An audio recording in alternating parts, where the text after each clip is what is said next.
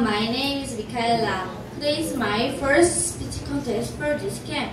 Today my speech title is Would you agree that drinking soda is bad for your health?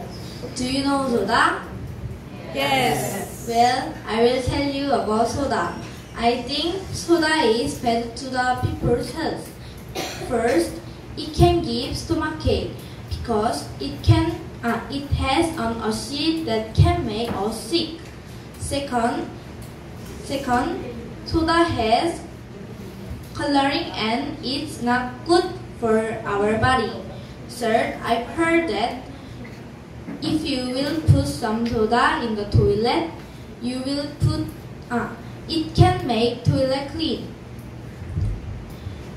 So if you will drink this, you will become sick.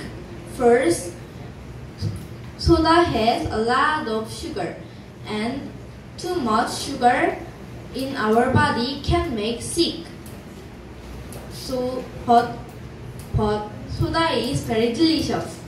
So soda can make the people wants to drink.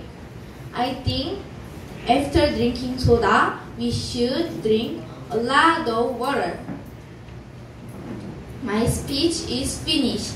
Thank you for listening to my speech. Have a nice day. Bye bye.